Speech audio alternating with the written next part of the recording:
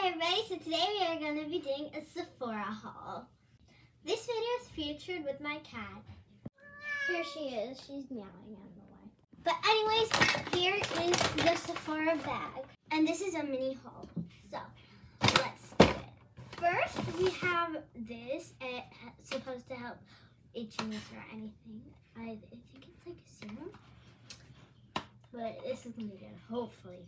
Next, we got this Moroccan oil.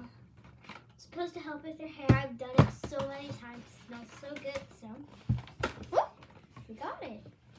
Last but not least, the glow recipe.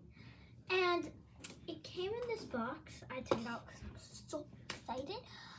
But um, there was this is the small version because big one was too expensive.